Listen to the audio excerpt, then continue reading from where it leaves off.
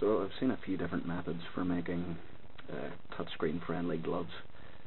I decided to try out this conductive paint from Bare Paint since uh, I've seen conductive thread and conductive sponges used.